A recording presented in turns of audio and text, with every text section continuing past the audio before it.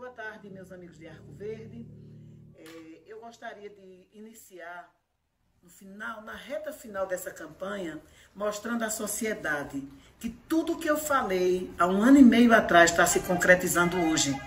Quando eu dizia à população que esse candidato que está representando era a desgraça da cidade, hoje está comprovado. O que nós vimos ontem à noite foi a maior tragédia para uma cidade pacata como a nossa estão transformando, querem transformar os bairros de Arco Verde em milícias.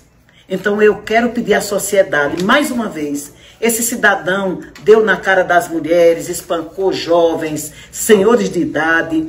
O trabalho dele era esse. E agora o trabalho é fechar a periferia, bairros completos fechados, armado, tentar agredir as pessoas. O resultado está aí. Isso Arco Verde não merece.